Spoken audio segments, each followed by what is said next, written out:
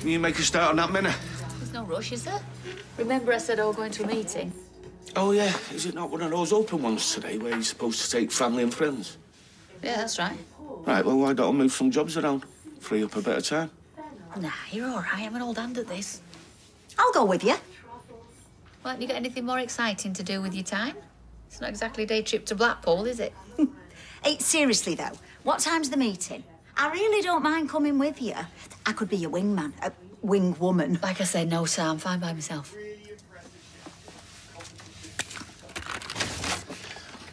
How was the meeting? You know, same old. Some uh, happy bits, sad bits, and a ton of tea and gypsy creams. Well, if you've OD'd on biscuits, you won't want any of this. I thought you were going out for lunch. Well, we took pity on you. Got a takeaway instead. Well, aren't you a star? Right then, that's me. I'm going to take mine up to my room, watch a bit of telly. Part timer. Well, I've got no business meetings today, so it's just me and Judge Rinder. I want her job. You'd miss me too much. Some days she hardly does a tap, and she's still loaded. What's that about? Well, she's done well for herself. Good on her. She disappears off to these meetings. When you ask her about them, she's dead vague. Has she always been so secretive? Don't be daft. What's she doing still slumming it with us? Crammed into that back bedroom when she's got a big posh house in Turkey all to herself. I mean, she must miss the peace and quiet. Oh, she's my sister. She's great with Jack. As far as I'm concerned, she can stay as long as she likes. Yep.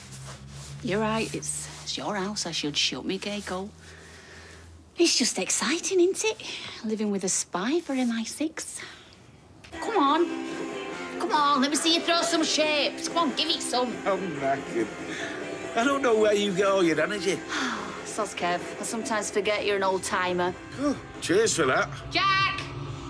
Jack, can you turn it down, please? We can hardly hear ourselves think. Hey, and as you saying, Debbie must find our house noisy when it's you making all the racket. You were saying what? I went out. It's just a bit of chat, that's all. Noisy and cramped, you said. She can't understand why you want to stay here with us when you've got a nice big house in the sunshine, standing there, empty. Sorry, have I outstayed my welcome? Have you the heck? We love having you here, don't we? Of course. This business venture's taking longer than I thought. That's what's keeping me here. Oh, and here's me thinking you want to spend time with your brother and your nephew. Look, if it's a problem, I can go and stay in a hotel. Massive bed, Egyptian cotton sheets, minibar. See, that's why it's good for you staying here with us. Helps you keep it real. yeah, you're right. I don't want to risk getting spoilt. so, might as well admit, I'm here for the duration.